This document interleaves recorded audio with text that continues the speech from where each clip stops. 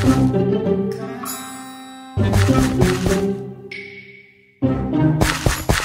you.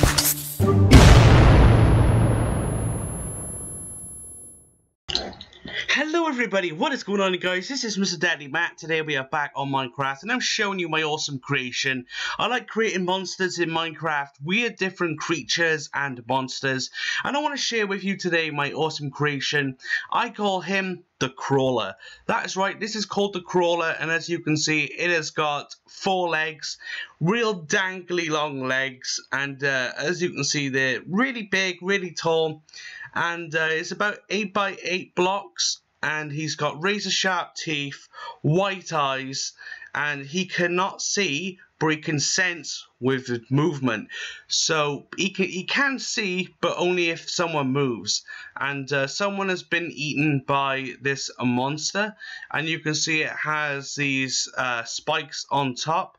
Now they act like sensors, so if he's detect he detects movement uh, they will see through his eyes then the movement and he'll chase after him and eat whoever he comes across so yeah he's a real looking nasty monster and I hope you guys like him once again this one's called the crawler.